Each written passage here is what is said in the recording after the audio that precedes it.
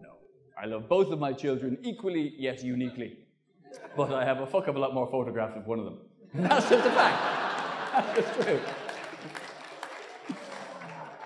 It's the photographs of the killer, it really is. I see some young people in here tonight. Any, anybody here? Anybody here in their low 20s or teens?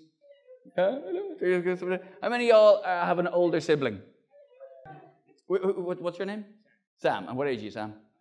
You're 17. But Sam, Sam, listen, I, I want to give you a bit of advice, right? Because I, I, I'm more than twice your age, and I'm standing here talking about what it's like to have kids. I'm probably losing you ever so slightly.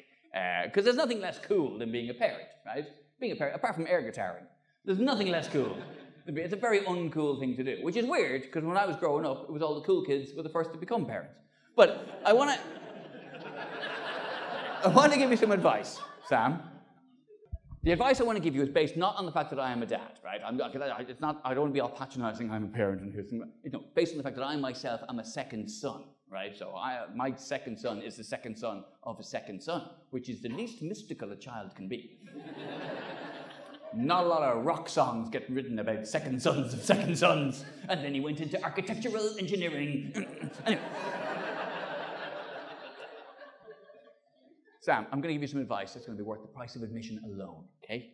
Next time you want something from your parents, say you want to see all the photographs of Becca when she was a baby, all right? Say it's for an art project you're working on, something like that, okay?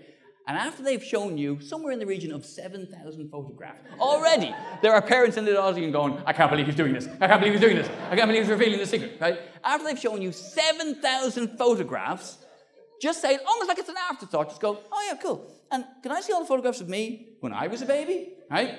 Watch them panic.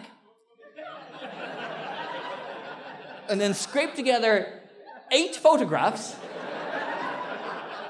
six of which are Rebecca holding you.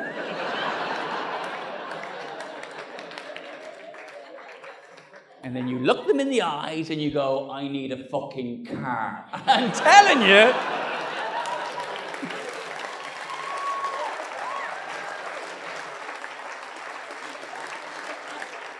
There is nothing they will not grant you in that moment to puncture the bubble of awkwardness that's been created.